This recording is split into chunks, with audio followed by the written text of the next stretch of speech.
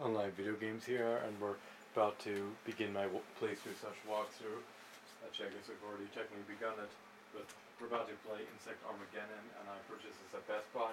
It cost me, I think, ten fifty nine for those of you who want to be exact, ten dollars, and then it came with free shipping, and then of course ten dollars plus tax, so it was about ten fifty nine.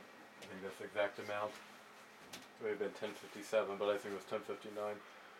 Um, anyways, I played the first one. It's called Earth Defense Force, Earth Defense Force 2017. And it's supposed to be where giant insects invade in the future. And um, this one is no different. It takes place probably in the future. There's more weapons, there's more vehicles, I'm assuming. There's probably new monsters, and there's online multiplayer and online survival mode.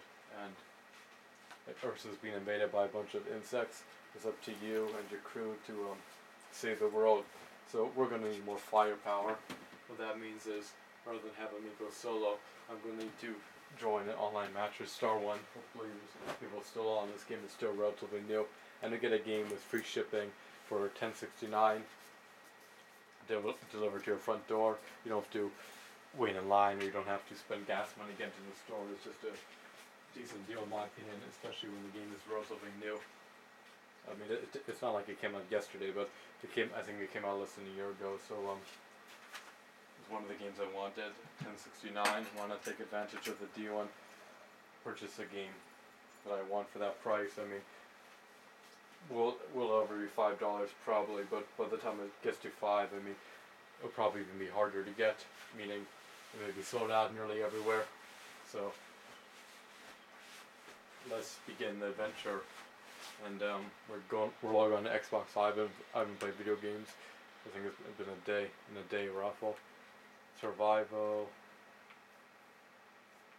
Alright, join Strike Force Lightning in the battle for New Detroit. Or um, how long can you hold out against endless waves of Ravagers? Let's do campaign. Custom match. Choose your settings for online play.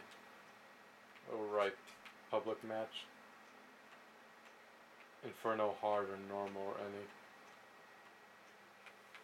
Oh, I thought there was an easy difficulty because I didn't want to play easy, but the normal is the lowest difficulty. Then we're gonna just join a quick match campaign, quick match. So this campaign can have up to six players. Can increase your firepower significantly. Even if somebody is being nearly useless, it's still better than nothing. As you know, Earth is under attack. And um, I played this game with somebody in the past, so it's a lot more fun when you have more players. So um, stay tuned for part two when I customize my character. Thanks for watching.